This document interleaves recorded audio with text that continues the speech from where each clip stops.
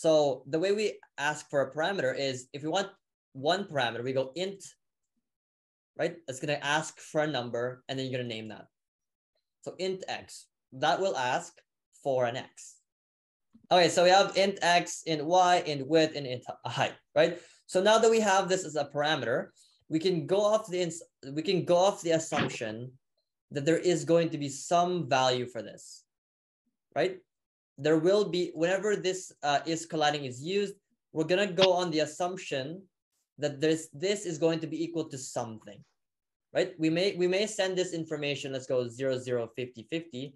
We may send this information some other time, but for now we have to assume that our future selves will give us a number for this. What what tells us how far left and right our ball is? Or its x uh, value. Yeah, it's it's it's x value, right? So whatever its x is, it tells us that. So if what happens when you multiply by negative one? The number becomes negative. Yes, right. So uh so if seven times negative one, so times negative one, that becomes well negative seven negative 7 times negative 1.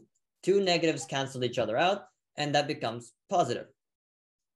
Right? right. And we can use some Pythagorean theorem, ooh, right, to figure out this corner. Don't bring the Pythagorean theorem into this. right, so this could actually just be, well, we if we know the distance, uh, if we go like this, think of this as your left side, right? The left side is just this infinite line. You don't have to think of it as just this single right side or left side. If you get this distance, right? And you get the, you project the bottom as an infinite horizontal line as well, you get this, right? So you, you now have the distance from the right side and the distance from the bottom this is actually going to be able, if I move this slightly to the right, this is magic, magic, another triangle.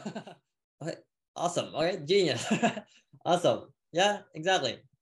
And uh, what? Hey, nice. Can you can, can you go ahead and run that? And so everyone here, it's kind of bouncing now. Ta-da! Hey, nice one. it hit right? the Perfect. corner. Okay, so now we can sit here. We can sit here for 30 minutes waiting for the corner, right? It just hit the corner. Oh, it did? I didn't see it. Oh, oh, uh. so just okay. center the circle minus your right side.